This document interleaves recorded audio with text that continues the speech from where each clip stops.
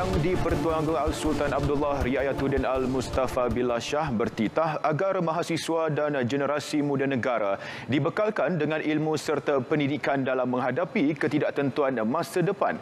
Baginda yang juga Chancellor Universiti Teknologi Mara UITM bertitah bahawa mereka perlu mahir menggunakan teknologi terkini yang bukan sahaja untuk tujuan bersosial malah bagi membuka ruang dan mencipta masa hadapan yang gemilang buat negara serta diri sendiri.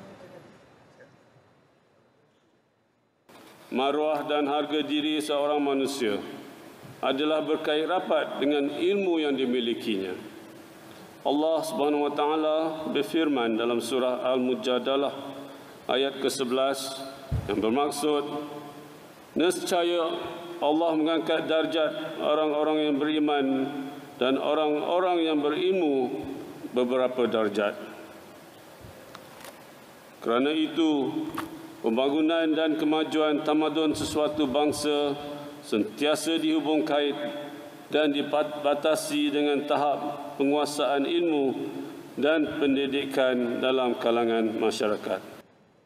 Baginda bertitah sempena istiadat Convocation UITM ke-94 di Dewan Agung Tuanku Chancellor UITM Shah Alam. Turut berangkat ke istiadat ini Pro Chancellor UITM Tengku Permaisuri Selangor Tengku Permaisuri Nora Shikin. Terdahulu Al-Sultan Abdullah berkenan menganugerahkan gelaran Profesor Emeritus kepada Dr. Norma Omar yang merupakan pengasas Institut Penyelidikan Perakaunan UITM.